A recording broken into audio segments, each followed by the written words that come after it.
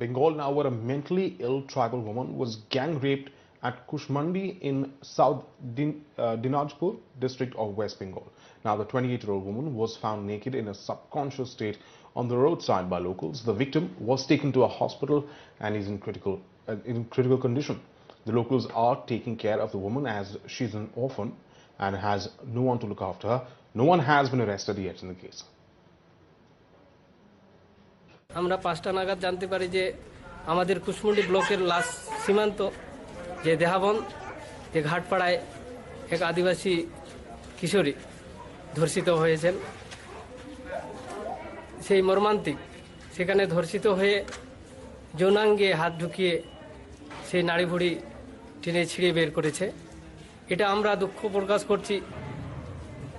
যারা এই ধরনের কাজ করেছে, আমরা দোষীদের উপযুক্ত শাস্তি আমরা চাইছি এবং যত তাড়াতাড়ি হোক তাদেরকে অ্যারেস্ট করুক আর না হলে আমরা আমরা এই কল্যাণ মঞ্চ থেকে বৃহত্তর আন্দোলনের পদক্ষেপ নেব Let me go across now to my colleague Tamal Saha, who's tracking the developments uh, there in West Bengal. Uh, Tamal, this is an extremely distressing case. Uh, uh, first of all, also give our viewers an update on the condition of this woman, because uh, from our initial understanding that uh, she was in critical, crit- critical condition. Well, that's right, Viren. Uh, the condition of this 28-year-old mentally challenged tribal woman continues to be extremely critical. She is there at medical Malda Medical College. Uh, doctors are trying to give every treatment possible.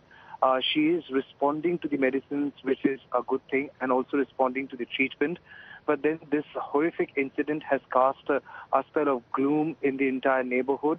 The alleged incident happened at Kushmundi village uh, in Devgar in South Dinajpur. And this 28-year-old woman is also an orphan.